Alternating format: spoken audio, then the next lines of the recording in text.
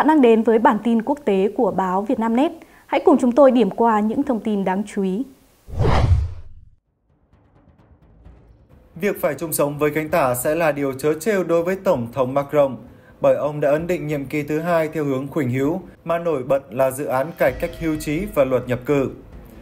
Bất ngờ lớn đã xảy ra tại vòng 2 của cuộc bầu cử Quốc hội Pháp, khác hoàn toàn so với dự đoán của giới phân tích và các cuộc thăm dò ý kiến bỏ phiếu. Khối chính trị giành vị trí dẫn đầu không phải là Đảng Tập hợp Quốc gia RN và các đồng minh, mà là Liên minh cánh tả Mặt trận Bình dân mới NFP.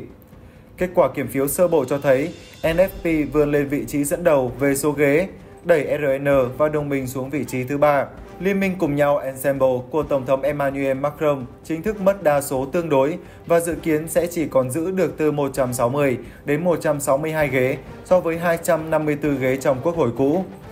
Kết quả vòng 2 càng khẳng định sự phân cực của chính trường Pháp với ba khối có số ghế không chênh nhau quá nhiều trong cơ quan lập pháp. Kết quả không lường trước được khiến cho cánh tả bị xáo trộn, buộc Điện Elysee phải xem lại các kịch bản của mình. Phát biểu chúc mừng thành công của cánh tả thống nhất, ông Jean-Luc Mélenchon, lãnh đạo đảng cánh tả cấp tiến nước Pháp bất khuất LFI, nhấn mạnh các cử tri đã loại trừ các giải pháp tồi tệ nhất, tức là RN chiếm được đa số tuyệt đối trong Quốc hội. Thất bại nằm ngoài mọi dự đoán của phe cực hữu cho thấy chiến lược rút lui của mặt trận Cộng hòa mà nòng cốt chính là phe cánh tả thống nhất và phe của Tổng thống Macron đã phát huy hiệu quả ngoài mong đợi. Các thông điệp và hướng dẫn bầu cử của đảng này đã nhận được sự hưởng ứng tích cực của cử tri. Với kết quả này, RN không còn cơ hội nắm quyền lực, mặc dù vẫn được hưởng một vị thế mạnh nhất định trong lịch sử tồn tại của mình. Cựu chủ tịch RN, bà Marine Le Pen, phát biểu sau khi biết kết quả bỏ phiếu rằng Thủy triều lần này không dâng đủ cao, nhưng nó vẫn tiếp tục dâng. Chiến thắng của chúng tôi chỉ bị trì hoãn. Bà cũng nhấn mạnh rằng đa số tuyệt đối dành cho RN sẽ nằm trong tầm tay nếu như không có thỏa thuận không tự nhiên giữa Liên minh cánh tả và phe của Tổng thống Macron. Với số ghế đạt được ít hơn nhiều so với trước, phe đa số của Tổng thống Macron đã chính thức trở thành phe thiểu số. Nhiều cử tri Pháp đã không thay đổi quyết định tiếp tục bỏ phiếu trừng phạt ông trong vòng 2, khiến cho kế hoạch thu hút trở lại các cử tri của khối trung dùng thất bại. Nhiệm vụ cấp bách của Tổng thống Macron là phải nhanh chóng quên đi thất bại do chính mình gây ra để giải quyết một bài toán hóc búa là kế hoạch sống chung như thế nào trong những tháng tới. Cho đến nay, giới quan sát vẫn chưa biết Tổng thống Macron sẽ lựa chọn chung sống theo giải pháp nào, nhưng chắc chắn rằng mọi kịch bản đều không hứa hẹn những điều tốt đẹp đối với ông. Theo giới quan sát, một trong những kịch bản tiềm năng nhất là thành lập một chính phủ cầu vồng gồm nhiều sắc thái chính trị như thường thấy tại Bỉ trên cơ sở một quốc hội đa nguyên. Tổng thống Macron có thể chỉ định một nhân vật đủ uy tín, trong trường hợp này là người của cánh tả, đứng ra xây dựng một liên minh giữ đa số tuyệt đối với sự góp mặt của một phần cánh tả, một phần cánh hữu và các đại biểu thuộc phe của ông. Nhưng giải pháp tình thế này không dễ trở thành hiện thực do sẽ vấp phải sự phản đối của các đảng cánh tả LFI và đảng sinh thái. Đánh giá tình hình hiện tại, ông Jean-Luc Mélenchon cho biết Thất bại của phe Tổng thống Macron là không thể thay đổi và ông ấy không thể lảng tránh bằng mọi cách. Thủ tướng phải ra đi và có nghĩa vụ kêu gọi NFP điều hành chính phủ và NFP sẽ áp dụng toàn bộ chương trình của mình. Một trong những điều kiện tham gia bất cứ liên minh nào của LFI là phải giữ nguyên chương trình hành động của LFP, trong đó có việc bãi bỏ cải cách hưu trí mà Tổng thống Macron đã phải rất khó khăn mới đạt được vào năm 2023. Chia sẻ đến quan điểm của lãnh đạo LFI sau cuộc bỏ phiếu, ông Olivier Faure, bí thư thứ nhất của Đảng Xã hội, cũng khẳng định chúng ta sẽ không tham gia bất kỳ liên minh đối lập nào phản bội phiếu bầu của người dân. Các chính sách theo chủ nghĩa Macron sẽ không thể được tiếp tục. Chúng ta sẽ chỉ có một la bàn duy nhất, đó là chương trình của NFP. Nếu mục tiêu thành lập chính phủ cầu vồng hay liên đoàn các dự án như ý tưởng của Tổng thống Macron không trở thành hiện thực, ông có thể nghĩ tới việc thành lập một chính phủ kỹ trị như một phương án tối thiểu. Đó sẽ là một nhóm bao gồm các học giả, các chuyên gia và công chức cấp cao, không liên quan đến bất kỳ đảng phái chính trị nào, làm việc dưới sự điều hành của một nhân vật được đề cử vào thủ tướng theo nguyên tắc đồng thuận, giống như một chính phủ tại Italia năm 2021-2022 do cựu thống đốc Ngân hàng Trung ương châu Âu Mario Draghi lãnh đạo.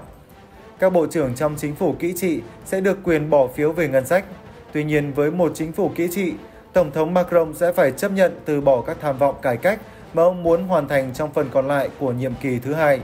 Với những phân tích ở trên, Khả năng là với cấu hình mới tại Quốc hội, Tổng thống Macron sẽ không chung sống với một phần cánh tả, gồm các đại biểu của Đảng Xã hội, Đảng Sinh thái và có thể cả các đại biểu của Đảng Cộng sản, vì LFI đã loại trừ mọi ý tưởng làm việc với ông. Trong trường hợp này, Thủ tướng tiếp theo sẽ là người thuộc cánh tả, nhưng với điều kiện NFP cần phải tìm ra một chính trị gia có cá tính đủ mạnh và không thể tranh cãi để tập hợp được phe trùng dùng và cánh hữu lại với nhau. Thất bại bất ngờ của RN và các đồng minh đã giúp cho Tổng thống Pháp loại trừ được kịch bản tồi tệ nhất, bởi nếu đảng này nắm quyền lực, nước Pháp sẽ chứng kiến sự chia rẽ mang tính lịch sử giữa hai nhân vật đứng đầu của nhà nước. Nhưng việc phải chung sống với cánh tả cũng sẽ là điều chớ trêu đối với Tổng thống Macron, bởi ông đã ấn định nhiệm kỳ thứ hai của mình theo hướng hữu khuynh, mà nổi bật là dự án cải cách hưu trí và luật nhập cư mới. Như vậy, bất kỳ viễn cảnh nào cũng sẽ dẫn tới một điều chắc chắn rằng cuộc bầu cử sớm sẽ không chấm dứt được cuộc khủng hoảng chính trị tại Pháp hiện nay. Một quan chức cấp cao không muốn nêu tên thuộc phe Tổng thống nhấn mạnh, không có tình huống nào dẫn đến một kết quả tốt đẹp. Theo quan chức này, Tổng thống Macron đã suy yếu và đơn độc hơn bao giờ hết khi phía trước ông là một quốc hội và chính phủ sẽ không dễ kiểm soát. Cần biết rằng theo hiến pháp, trong mọi trường hợp với mọi kịch bản, nếu khủng hoảng xảy ra, quốc hội mới được bầu của Pháp cũng không thể bị giải tán trong vòng một năm, tức là trước ngày 9 tháng 6 năm 2025.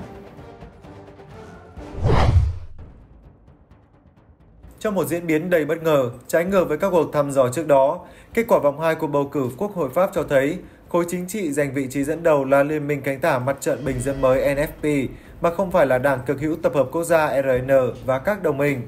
Theo Bộ Nội vụ Pháp, Liên minh cánh tả mặt trận bình dân NFP đã giành được 182 ghế, Tiếp theo là Liên minh Trung Dung của Tổng thống Emmanuel Macron với 163 ghế và đứng thứ ba là Đảng cực hữu tập hợp quốc gia RN với 143 ghế. Đây là kết quả gây bất ngờ cho người dân và giới lãnh đạo chính trị Pháp khi kết quả vòng 1 cũng như các cuộc thăm dò trước vòng 2 đều cho thấy Đảng RN sẽ dẫn đầu.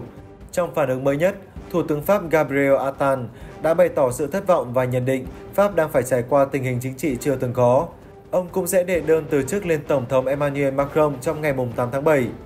Thủ tướng Pháp Gabriel Attal nói rằng nhóm chính trị mà tôi đại diện trong chiến dịch này, ngay cả khi đạt được số điểm cao gấp 3 lần so với những gì dự đoán trong những tuần gần đây, vẫn không chiếm được đa số. Và vì vậy, trung thành với truyền thống Cộng hòa và nguyên tắc của mình, tôi sẽ gửi đơn từ chức tới Tổng thống.